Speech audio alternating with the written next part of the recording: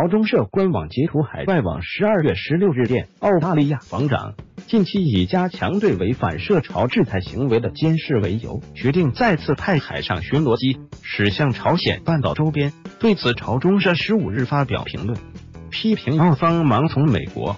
并警告澳大利亚当局，切勿忘记上世纪五十年代在朝鲜饱尝对美屈从的苦味历史教训。澳大利亚计划派遣的 P 八 A 型反潜巡逻机。韩联社据朝中社报道，澳大利亚国防部长声称，此次措施的目的在于切断朝鲜及其相关组织回避制裁、非法交易。澳大利亚将维持对朝打压，直到朝鲜采取彻底的、可验证的、不可逆转的无核化措施为止。朝中社指出，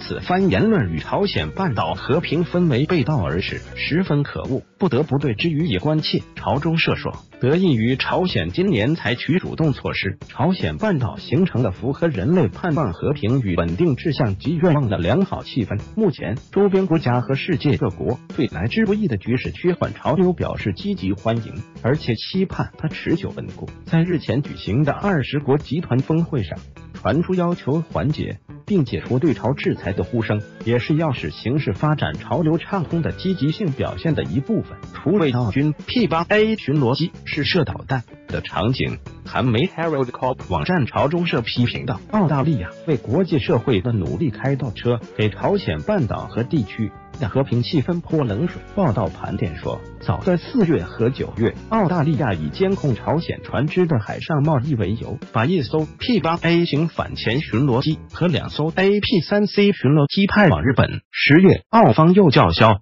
打压朝鲜的经济外交，派阿德莱德级制导导弹巡洋舰 HMAS 墨尔本号驶入朝鲜半岛周边等。积极带头从事对朝敌对行为。朝中社指出，若想在对保障世界和平与安全具有重大意义的地区，拿侵犯主权国家主权的行为得到美国对其地位的承认，结果只会是自食其果。澳大利亚与其成为盲目追随美国的现代版堂吉诃德，不如去进行理性思考。